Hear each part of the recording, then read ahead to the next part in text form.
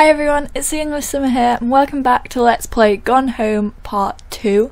So not, I know a lot of you have been waiting for this, like I've had questions on Twitter like, when's the next part coming out, and sorry that I haven't, I just really don't want to rush through this game, like, um, I'm kind of not remembering exactly what happened in the last, in the next couple of parts of this game, and yeah, I just want to take my time with it, so I'm sorry I've not had a video up of this recently. However, we are gonna hop straight in to it.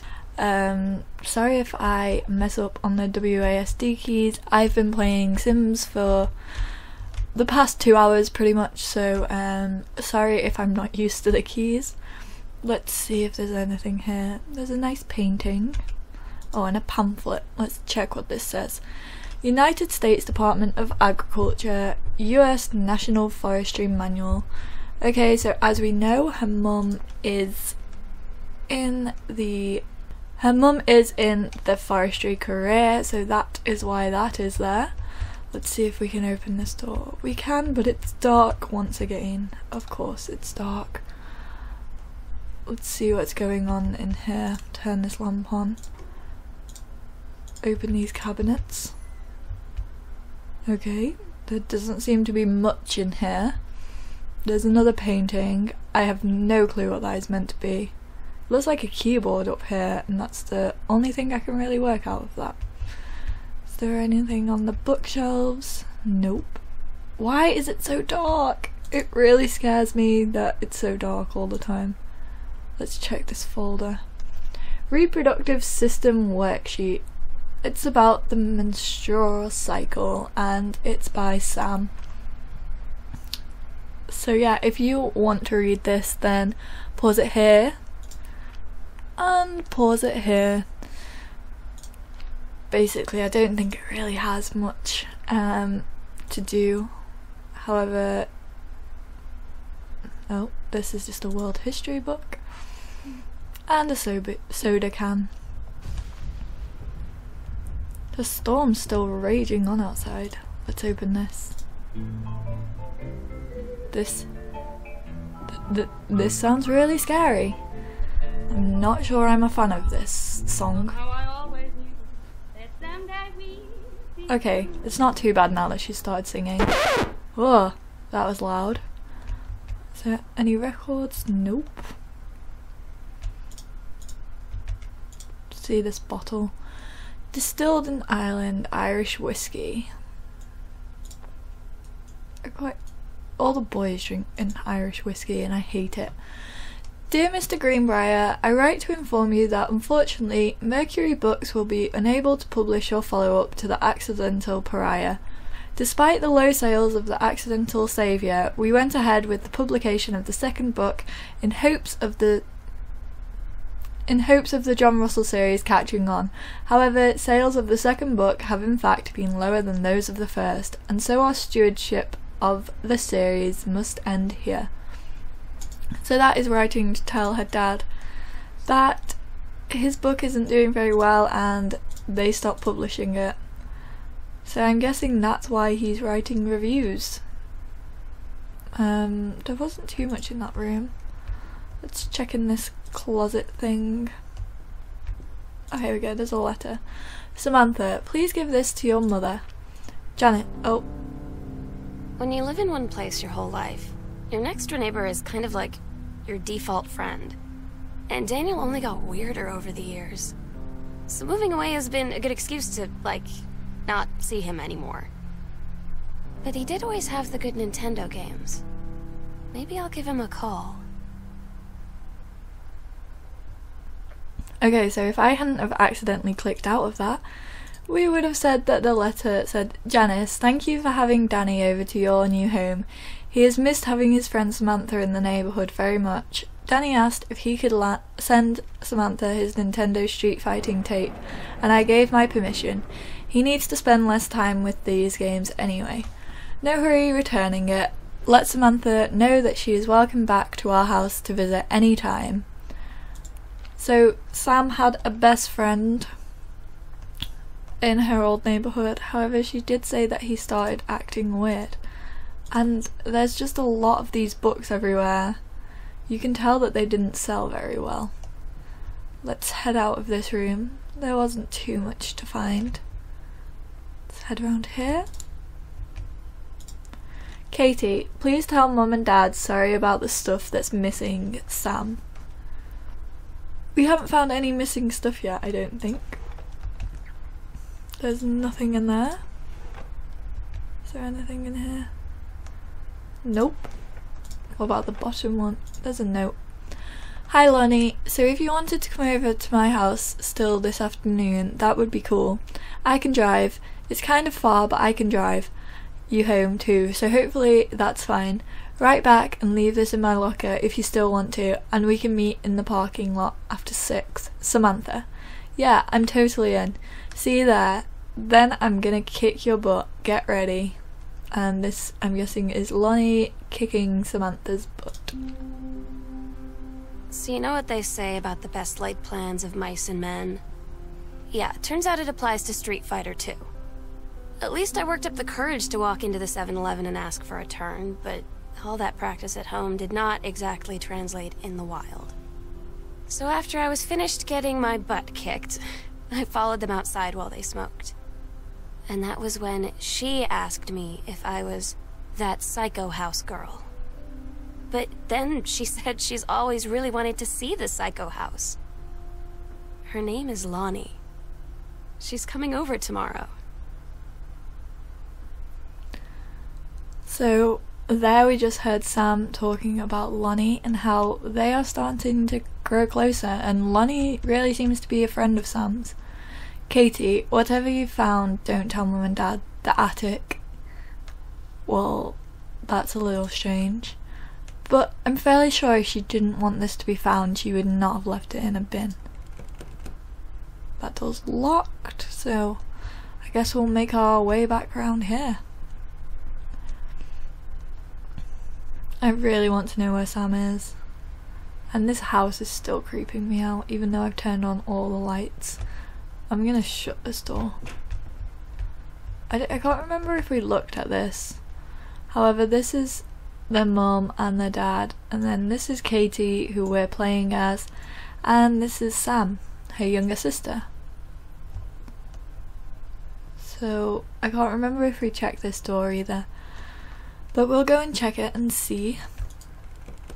So that's locked. So that, oops, didn't mean to do that. The only place we can go is upstairs. So how about we go up here into the darkness once again. Let's turn that lamp on. There's nothing there we can read. Nope. There's a newspaper clipping. Controlled burn scheduled for Boone County. Boone County, plumes of smoke will rise above the northeastern region of Boone County over the better part of next week, as part of a Forestry Service run controlled burn of overgrown sections of the Flintlock National Forest. Forestry crews have been preparing the area for months. The burn operation will take place, bloody bloody blah, and the personnel involved is Janice Greenbriar. So that is in fact our mum. So she is helping out. There's a pack of cards. Cool. So yeah, our mum is helping out with the deforestation of overgrown parts. Is there a light in here? There is. Um, there's a comb. Random. Put you down. There's a planner. What what is that noise? I don't know if it picked it up for you guys, but it sounded like someone was trying to open a door, and now I'm scared to turn around. So, this is one of their mum's or dad's planners. Let's open this drawer.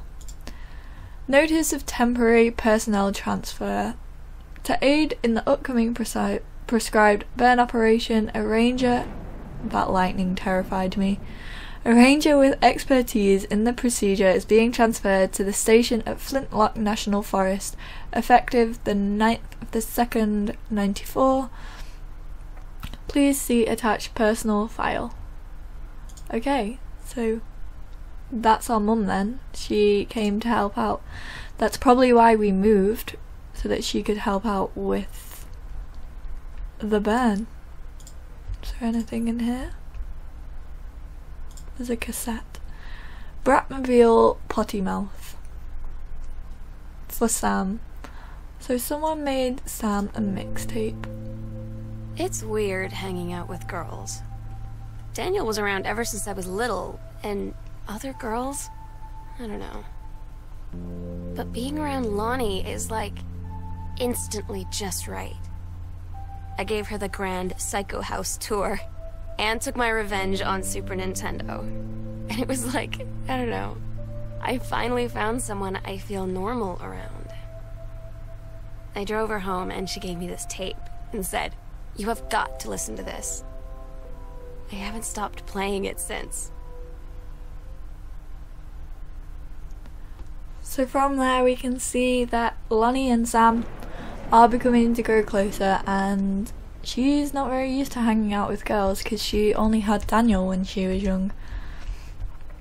So let's go in this room. Let's check here first. Read sternly written letter. To whom it may concern, I, Samantha Greenbriar, am 17 years old and am therefore an independent, fully functional human being. The fact that you still forbid me from going into the city on my own is frankly absurd. Compare with Katie, who is only three, in brackets three, years older than me, and yet you allow her to go all the way across an ocean to another continent on her own. I just want to spend an evening in a normal, totally safe city on my own, like a human being. And since you may also remember that I have my own car now, you can't really stop me. Warmest regards, your daughter, Samantha. So that is a strongly worded letter to her parents. And here's a note. Sam, stop leaving every damn light in the house on. You're as bad as your sister. No wonder we keep the lights on. Have you seen how terrifying this place is? And then there's some post-it notes. Daniel called. Daniel called again. He wants his Nintendo game back. So obviously Sam never gave that back to him. Caution, radiation area, keep out. I'm guessing this is Sam's room. So let's check what's around here. Oh, there's nothing in the player. I don't think we can open any of these ring binders. we couldn't last time, so we'll put that back. We'll check the drawers though. Ah, there's the cassette. Is there anything else? Just clothes? It sounds like... Oh. Oh. Okay. This is quite a good song. I'm gonna turn this TV off though, because it's gonna really scare me. I'm actually gonna turn this off so it doesn't drown me out. So take- oh, okay. Just fall on the floor. That's fine. There seems to be a note here. Oh, there moves for Street Fighter, I'm guessing. Adventurous the Cat returns. So this is for the Nintendo game, I'm guessing. Let's check what this is. They just look like random doodles. Cannot make anything out of them. But they're cool though. Um, is there anything in this? Nope. A bug sticker. And let's open this and have a look. So there's just a bunch of games, pretty much. Guessing she never gave them back to Daniel. And there's nothing on there. Let's check in this closet, this cupboard over here. Dirty clothes, are like every teenager ever. Got your number. Are you going to the dance with anyone who's got a crush on you? So, this is a dating game, I'm guessing. There's a chapter. The King's Labyrinth, Chapter 2 Fraying Threads. Captain Allegra, still in her flowing skirt and sturdy jerkin, descended the living the single shining thread into the lower cavern of the labyrinth. She and the first mate, on their own now, grew closer to their goal, the throne room of the dead immortal king of the island. The first mate slid down the line onto the stone floor. She swept chalky bone dust from the front of her canvas trousers and looked up at Allegra. The silken thread, nigh unbreakable, thanks to the enchanted moths that inhabited the island, trailed behind, leading their way back to the entrance. From fur- from fur- from further into the labyrinth, a moaning began to echo. The moaning grew louder and clearer. It turned into words from some ancient language they could not understand. The king's cursed voice. The hairs on Captain Allegra's arms stood on end. She looked back at the first mate, whose eyes remained locked on the blackness of the passage for a moment too long, before noticing the captain's gaze. The first mate nodded silently ahead. Following the king's ghostly song deeper and deeper into the labyrinth, they came upon a rocky gap spilling forth otherworldly blue light. Okay, I'm gonna stop reading here because this is three pages long. If you want to carry on reading, pause now. And pause now because can't be bothered with that. Sorry guys. There's nothing else in there. Man, Sam had this like when she was in fourth grade. It's a Hawaiian penguin. That's a cool that's a cool ring folder. Oh, there was something under that. A book. Oh, it's it's the Holy Bible. Let's put that down. Oh, am I not meant to throw the whole? I don't think I'm meant to throw the Holy Bible on the floor. I'm sorry. Mitten, 1888, Dry Creek Road. 1888, not. Okay. Well, we don't live on that road anymore, I'm fairly sure, so maybe we don't have the dog or the cat anymore. And there's a plaque. Samantha, S is for special, A is for adorable, M is for merry, A is for affectionate, N is for nice, T is for thoughtful, H is for honest, A is for admirable. Congratulations if you have any of those letters in your name. Because you are one of those things. Let's put that back. I feel bad just throwing all this stuff on the floor, but you can't really do anything else with it. I spy a note. Throw that over there. Read note.